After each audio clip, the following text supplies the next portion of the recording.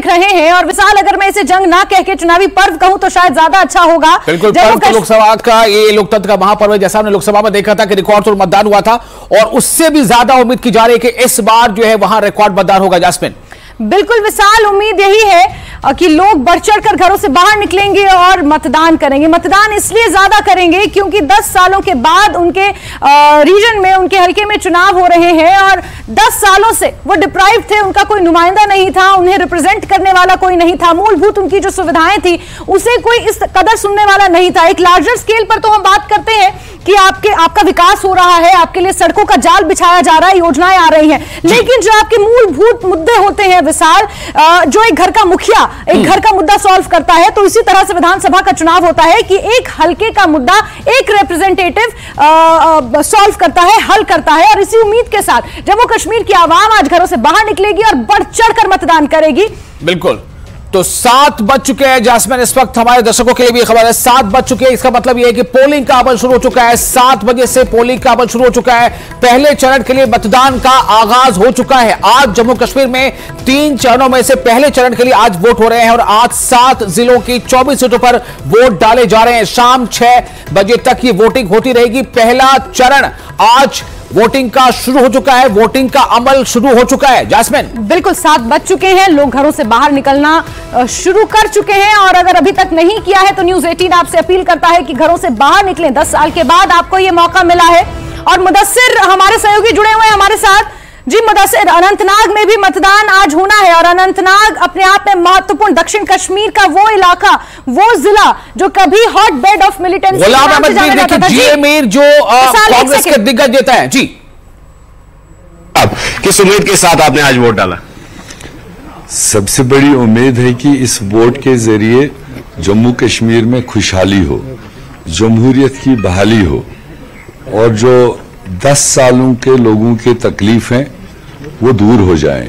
मेरे ख्याल से इसी उम्मीद के साथ आज पूरे फ़ेज़ वन में जो साउथ कश्मीर है चिनाब वैली है और खासकर डूरू शाहबाद के लोग इसी उम्मीद के साथ आज निकल रहे हैं कि 10 साल के बाद जमहूरी तरीके से इनको अपने हक राय दहिंदगी का अ, मौका मिला।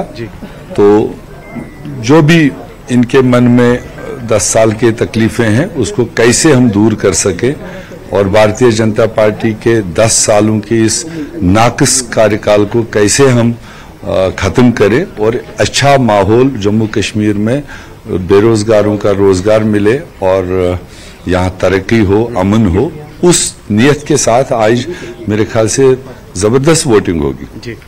तो 2014 में ये सीट जो है पीडीपी की झोली में चली गई थी, लेकिन इस बार जो है कैंडिडेट बदलना पड़ा पीडीपी को।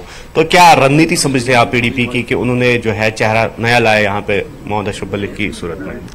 आप देखिए 2014 का जो पीडीपी था और जो उस वक्त की क्यादत थी, वो फिर भी एक एस्टैब्लिश्ड लीडर था। और वो 50 साल जमीनी सतह से उठ के काम किया हुआ था लोगों की भलाई के लिए। और उस वक्त जो उन्होंने अपील की थी कि भाजपा को रोकने के लिए पीडीपी को वोट करो। ठीक है लोगों ने वो अपील किसी हद तक सुन भी ली मान भी ली फॉलो भी किया। मगर बाद में जो उन्होंने उस प्रॉमिस पर वोट लिया और आगे जाकर फिर उन्हीं अनासर के साथ उन्हीं डिवाइसिव फोर्स के साथ हाथ मिलाकर जम्मू कश्मीर में भाजपा जनसंघ की सरकार एस्टेब्लिश की।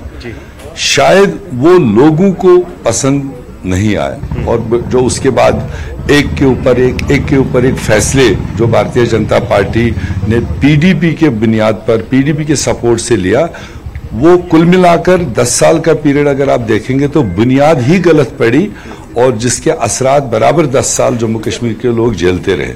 और उसी दरमियान फिर 5 अगस्त 2019 आया और जिस तरह के फैसले लिए गए तो वो भी जम्मू कश्मीर के अवाम को फ़िलहाल नामंजूर है, जो इख्तियार किया गया तरीका अनडेमोक्रेटिक अनकॉन्स्टिट्यूशनल और रियासत थी वो छीन ली, जमीनों के हक छीन लिए, नौकरियों के हक छीन लिए, जिससे हमारे जम्मू कश्मीर के लोग एकदम, समझ लीजिए, बेसहारा से हो गए, और कोई सुनवाई नहीं।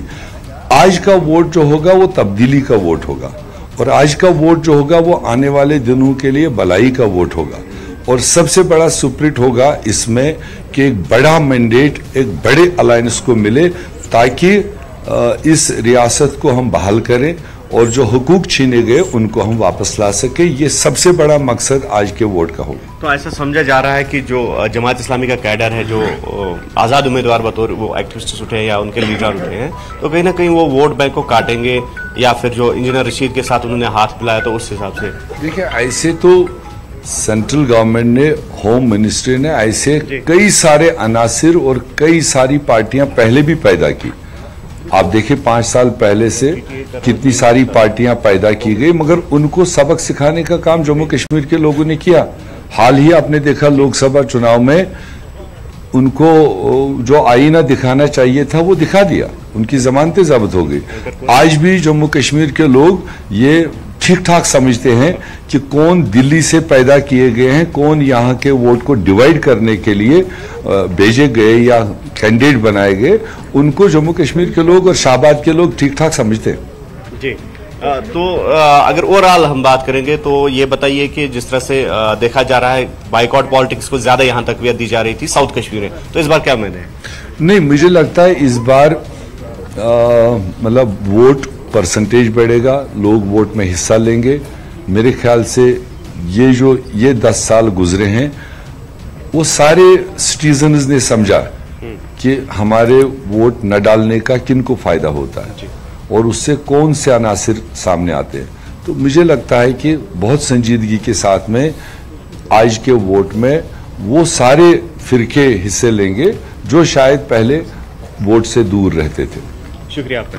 तो ये थे जेएमई रियासी का के जनरल सेक्रेटरी। और इनका ये कहना है कि जो यहाँ पर आज वोटिंग होगी तो रिकॉर्ड तोड़ वोटिंग होगी और वोट वोटर्स जो है वो बदलाव चाहते हैं और बदलाव के लिए ये वोट काफ़ी अहमियत का हामिल होगा। न्यूज़